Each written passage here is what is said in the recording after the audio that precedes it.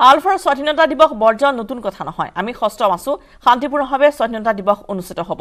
এই মন্তব্য আৰক্ষী সঞ্চালক প্ৰধান ভাস্কৰ জ্যোতি মহন্তৰ। উল্লেখযোগ্য যে আলফাই স্বাধীনতা দিৱস বৰ্জন কৰিবলৈ জনাইছিল আহ্বান আৰু তাৰ বিপৰীতে ইতিমধ্যেই আলফা স্বাধীনৰ এই যি বৰ্জনৰ কাৰ্যসূচী সেয়া কোনো নতুন কথা নহয় আৰু সকলো সষ্টম হৈ থকাৰ কথা মন্তব্য কৰিছে আৰক্ষী সঞ্চালক প্ৰধান ভাস্কৰ জ্যোতি মহন্তই। আৰক্ষী প্ৰকাৰে সৰ্বতো প্ৰকাৰে সাজু হৈ থকা বুলি তেওঁ মন্তব্য আগবঢ়াইছে।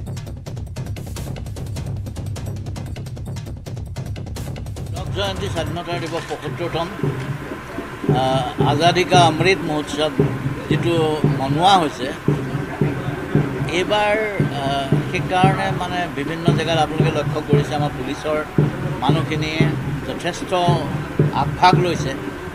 বেটেলিয়নসকলে প্ৰতি বেটেলিয়নত আমাৰ ৰিক্ৰুটৰ পৰা আৰম্ভ কৰি ছিনিয়ৰ অফিচাৰলৈকে তিৰংগা যাত্ৰা কৰিছে ৰাইজক ঘৰে ঘৰে গৈছে।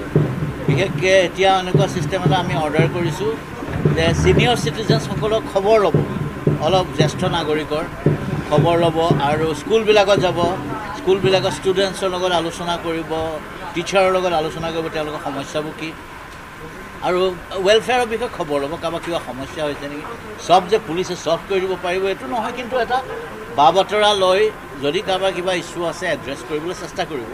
তাৰোপৰি ভাৰতবৰ্ষৰ অখণ্ডতা ভাৰতবৰ্ষৰ শৌৰ্য বীৰ্য মৰ্যাদা এই বিষয়ে ৰাইজৰ মাজত এটা জনজাগৰতা আনৰ আনিবৰ কাৰণে যত্ন কৰিছে আৰু লগতে আমাৰ প্ৰকৃত স্বাধীনতাটো খৰ্ব হোৱা যিখিনি আমাৰ সমস্যা ক্ৰাইম অপৰাধ আৰু এইবোৰ চাইবাৰ ক্ৰাইম এতিয়া খুব বেছিকৈ হৈছে মহিলাৰ বিৰুদ্ধে অপৰাধ টাইপৰ যিখিনি হয় এইবিলাক এইবিলাকৰ পৰাও আমাক স্বাধীনতা লাগে এনেকুৱা অন্যায় অবিচাৰবোৰৰ পৰা আমাক স্বাধীনতা লাগে এইবোৰ কথাও তেওঁলোকে কয় মানুহৰ মাজত অলপ বিস্তাৰভাৱে।